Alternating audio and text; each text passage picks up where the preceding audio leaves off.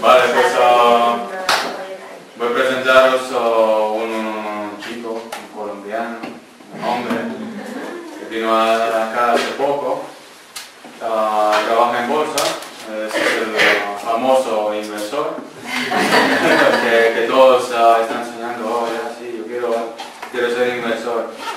Y ahora, de su punto de vista, vamos a ver por qué, por qué vale la pena. Eh,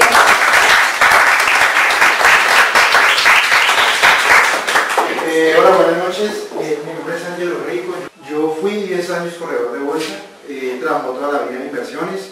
Ahora únicamente me dedico a los negocios personales. Quiero que despejen la mente porque vamos a hablar de educación financiera. Vamos a ver qué es lo que hace una persona para ser rica y qué es lo que hace una persona para ser pobre. Vamos a ver qué es lo que tiene en la mente una persona rica y vamos a ver qué es lo que tiene en la mente una persona pobre.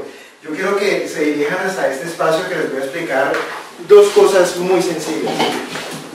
Si nosotros ahorráramos 200 dólares, 200 dólares mensualmente durante 30 años a una tasa del 1,5%, suponte que empezamos a ahorrar 200 dólares desde los 30 años y hasta los 60 años. Al final nos retiraríamos con 95.500 dólares. ¿Eso es buen dinero o mal dinero? Bien, bien. Muy mal, porque son 30 años. Son 30 años. Si nosotros ahorramos 200 dólares mensualmente y estos 200 dólares que ahorramos mes a mes a mes, los reinvertimos y por reinvertir ese dinero obtenemos un rendimiento del 15% anual, desde los 30 años hasta los 60 años. Al final nos retiraríamos con un millón 585 mil dólares. Estoy hablando en términos de dólares, pero podemos hablarlo en términos de euros, yenes japoneses, libras esterlinas. Es lo mismo. ¿Cuál es la diferencia? ¿Por qué un ser humano es capaz de generar un rendimiento sobre su dinero del 1,5% y por qué otro ser humano con las mismas capacidades intelectuales, las mismas, las mismas capacidades humanas, por qué este únicamente es capaz de generar un 1,5%? y porque otro ser humano en iguales condiciones intelectuales y materiales puede generar un rendimiento del 15% anual. ¿Por qué? ¿A alguien se le ocurre por qué? ¿Por qué? Cualquier cosa, lo que sea. Por la creencia que tienen ¿La creencia en qué? en el mismo. Vale, bien. Otra, Por la educación financiera por la educación financiera. La única diferencia entre un ser humano que es capaz de obtener un rendimiento sobre su dinero del 1,5% y otro que obtiene el 15% es la educación financiera. Y eso nada tiene que ver con el dinero. Eso nada tiene que ver con el dinero, porque estamos hablando de 200 dólares. Un mileurista puede ahorrar 200 dólares. Y un mileurista se puede retirar millonario a los 60 años. Un mileurista. Ahora, esto es el rendimiento que cualquier ser humano podría obtener por el dinero. Pero aquí hay una cosa muy importante. La educación financiera determina el lugar hasta el cual nosotros llegamos en la vida. Pero hay algo mucho más importante que eso.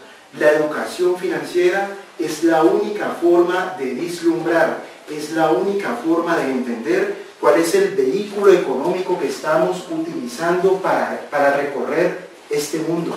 El vehículo económico. Una persona con educación financiera es capaz de ir en un jet privado y una persona sin educación financiera se pasa toda la vida andando en bicicleta. Y estoy hablando de vehículos económicos. Ustedes entre, entre Barcelona y Madrid creo que hay una distancia de 5.500 kilómetros. Si me equivoco me corrigen. No, no, 600. ¿Cuánto? 630. ¿230? ¿Entre Madrid y Barcelona? Bueno, bueno, estoy pensando en otra cosa. 630. ¿Ustedes están de acuerdo en que nosotros podemos viajar entre Barcelona y Madrid en avión? Sí. Nosotros podemos ir en avión, ¿cierto? ¿Cuánto demora un avión? Creo que 30 minutos. Creo que demoramos más en la terminal. Hora. ¿Ustedes están de acuerdo en que podemos ir entre Barcelona y Madrid en coche? Sí. Creo que demoramos 5 horas. Podemos ir en coche, ¿cierto? ¿Ustedes están de acuerdo en que podemos ir entre Barcelona y Madrid en bicicleta? Yo tengo mis dudas por el estado físico, pero yo creo que sí. Creo que demoraríamos un mes en bicicleta, pero es posible. ¿Ustedes están de acuerdo en que nosotros podemos ir caminando entre Barcelona y Madrid? Tengo más dudas, pero es posible, es físicamente posible. Nosotros podemos ir caminando entre Barcelona y Madrid. De cualquiera de estas formas nosotros podemos ir o recorrer el camino que hay entre Barcelona y Madrid. ¿Cuál es la diferencia entre los vehículos que estamos utilizando para ir? ¿Cuál es la diferencia? La velocidad con la que vamos por la vida. La velocidad. El vehículo económico que nosotros utilizamos en términos financieros, esta es la equivalencia. Es una decisión de cualquier ser humano ir en bicicleta. Cuando nosotros nos empleamos toda la vida es ir en bicicleta. Todos los días tenemos que pedalear. Y cuando no pedaleamos se cae la estructura porque ya tenemos una estructura de costos y si no pedaleamos se cae el ingreso y se cae la estructura y se cae todo. Nosotros podemos tomar la decisión de utilizar cualquier vehículo económico. La única forma en la cual nosotros podemos vislumbrar, podemos comprender y entender el vehículo económico que estamos utilizando para recorrer la vida que nos tocó vivir es con más educación financiera. Nosotros estamos tratando de cambiar nuestra mentalidad, una mentalidad de empleado hacia una mentalidad de empresario. Yo recuerdo mi madre, mi madre trabajó toda la vida en, una empresa textil, operaria de Atlanta, un cargo pobre, normal, y mi madre me aconseja, porque las madres aconsejan. Hijo, búscate un empleo. Busca la jubilación. Estudia. Saca buenas notas. Yo lo hice porque yo tengo una maestría, tengo un posgrado en finanzas, tengo tres diplomados en el área bursátil, 10 años corredores y medio en la vida. Mi madre me aconsejaba. Hace, yo me acuerdo cuando yo empecé en bolsa en el año 2003, yo le dije a un amigo, hagamos, arriesguemos. Somos pobres, si arriesgamos y perdemos, seguimos siendo pobres. ¿Sí o no? Porque cuando uno es pobre, y cuando yo estoy hablando de ser pobre, es ser clase media. Porque cuando tú tienes la expectativa de jubilarte a los 70 años, cuando ya no tienes fuerzas de disfrutar la vida, de disfrutar la familia o de disfrutar la salud, cuando, cuando tenemos esa expectativa, la pobreza es mental. Porque si yo sueño, si, mi aspiración en la vida es jubilarme, yo soy pobre mentalmente. Tengo limitaciones mentales que no me permiten alcanzar unos objetivos que sean nobles o que sean ambiciosos. Y yo me acuerdo en esa época, yo le, yo le decía a un amigo mío que estaba en las mismas circunstancias de la vida que yo tenía, hagamos esto. Yo creo que en esto nos puede ir muy bien. Y yo recuerdo que mi amigo se entusiasmó pero a los días le digo, no, es que estoy hablando con mi padre. Ah, no, hablé con un amigo y no, él entender que no. Y entonces yo decía, wow, el amigo, que también es mi amigo, el amigo de él, que también era mi amigo, ganaba 200 dólares. ¿Qué les quiero yo decir con este ejemplo? Que la mayoría del tiempo nosotros recibimos consejos de personas pobres, de personas que no tienen lo que nosotros queremos tener lo que nosotros queremos tener, de personas que no han recorrido el camino que yo quiero recorrer, y esto incluye a los padres, porque muchas veces los padres no tienen el ejemplo. Los padres, la mayoría de las veces, no tienen la vida que nosotros aspiramos tener. Mi madre me dice, hijo, consíguete un empleo. Y yo digo, pero yo ya estoy en la situación que no. Pero a la madre hay que quererla, pero muchas veces no hacerle caso. Porque y esto es con respeto por los padres, yo algún día lo seré. Pero si la persona que te habla al oído, la persona que te aconseja, en la vida todos necesitamos mentores, pero la mayor capacidad que debe tener cualquier mentor es el ejemplo. Nadie es capaz de educar a otros si no es con el ejemplo. Cuando yo iba a la universidad y me explicaban inversiones, y después yo, el profesor que me explicaba inversiones, me lo encontraba en el bus conmigo, yo decía, pero este señor me explica algo que él no entiende, que él no sabe, que nunca ha hecho. No es coherente, no explica con el ejemplo. Le preguntaba yo, eso usted invierte, yo no invierto y nunca voy a invertir. Mentalidad de pobre. Y esa es una mentalidad de pobre que se replica y que se multiplica. Pobres que se crían entre los pobres, con amigos que son pobres, familiares pobres y padres pobres, y al final todos terminamos siendo pobres, porque Dios los crea y ellos se juntan. Entonces fíjate que cuando nosotros venimos a un evento de estos, nosotros venimos a aprender cómo crear una organización, cualquier negocio, y yo me los conozco todos porque he trabajado 10 años con personas ricas, ricas. Personas ricas eh, para mí es de más de un millón de euros o de dólares. Una persona en metálico, en portafolio o en el banco. Yo no estoy hablando de casas ni de coches, estoy hablando de activos. Entonces, esos son personas ricas. Que la mayoría de nosotros no tiene dinero para construir una organización. No tiene dinero, no tiene la infraestructura y no tiene la experiencia. Y cuando hablo de experiencia es tener mentalidad empresarial. La mayoría de las personas no puede construir su propia organización porque simplemente tienen mentalidad de empleado y llevan 20, 30 o 40 años aprendiendo habilidades de empleado. ¿A qué vamos a la universidad? A, saber cómo comportarnos cuando el jefe llega de mal humor. Vamos a la universidad a aprender a cumplir horarios. Vamos a la universidad a aprender cómo comportarnos y ser políticamente correctos. A eso vamos a la universidad, a, a aprender cómo construir el sueño de otros. Uno sabe que uno está eh, recorriendo el camino hacia la libertad financiera cuando está construyendo su propio sueño. Y construir su propio sueño pasa por, por desarrollar habilidades de emprendedor, habilidades de empresario. El mundo es de los soñadores, amigos. Nadie, eh, si un soñador no se hubiera atrevido a pensar que eh, un aparato metálico era capaz de cruzar el Atlántico, el avión no existiría. Soñadores. El mundo no es de los realistas, porque los realistas son los que dicen, tú aterriza y consígate tu empleo. Tú aterriza y búscate de qué vivir. Tú aterriza y confórmate con mil euros. Tú aterriza, estudia en la universidad y eh, vive la vida que te tocó vivir porque es lo que hay. Ese es el mundo de los realistas, pero el mundo es de los soñadores. Los soñadores al final son los que se vuelven ricos, porque los soñadores son los que son capaces de entender que 2 más 2 no es igual a 4. En el mundo de los soñadores, en el mundo de los emprendedores, 2 más 2 puede ser lo que a nosotros se nos dé la gana.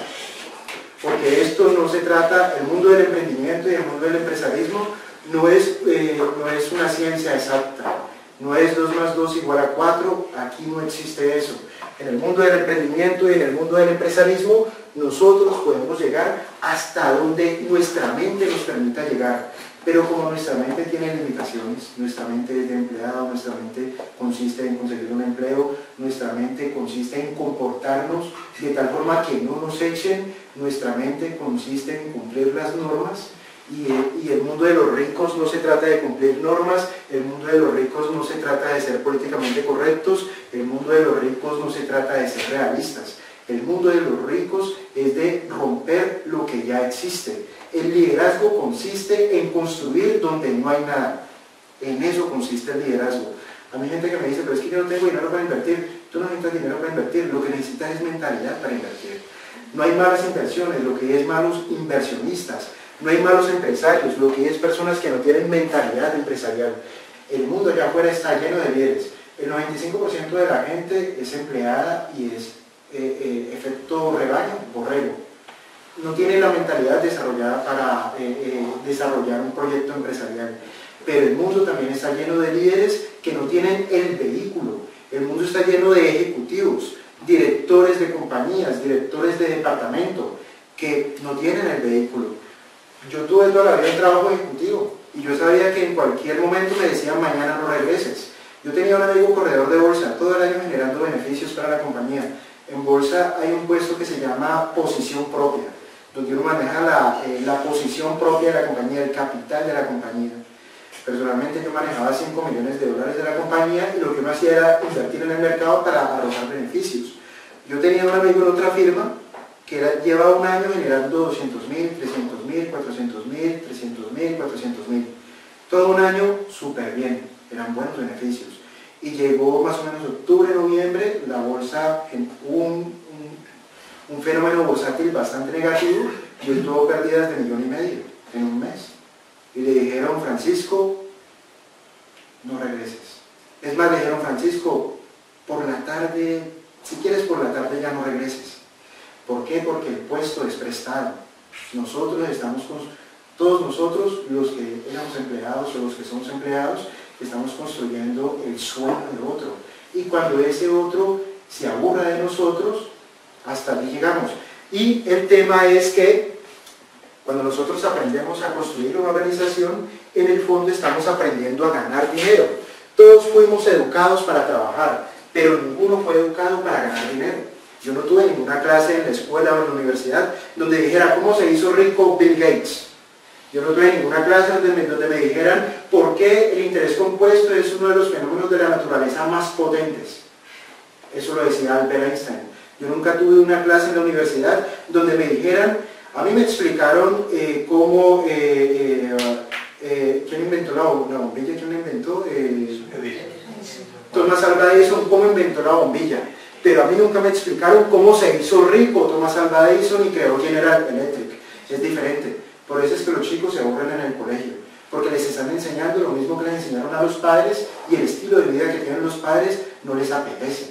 Entonces ellos dicen, me están enseñando lo mismo que aprendieron mis padres, pero yo no quiero ser como mis padres. Y por eso es la deserción.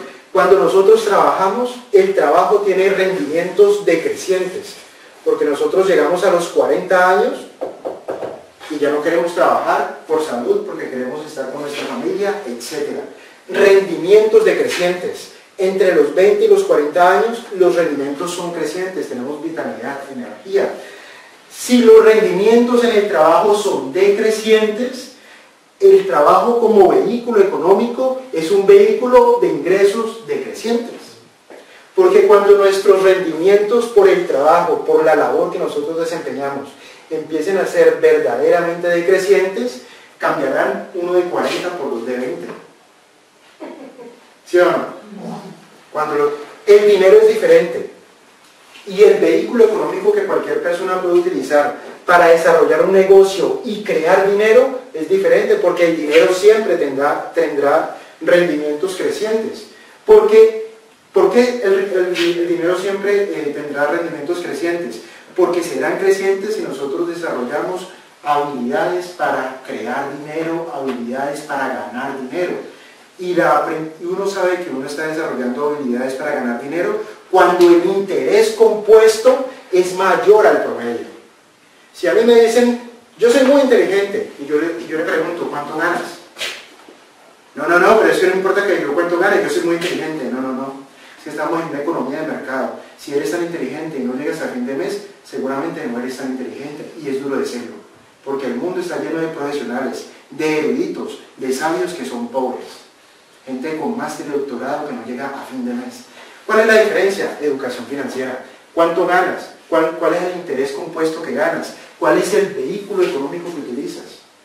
Esa es la reflexión que les quería dar.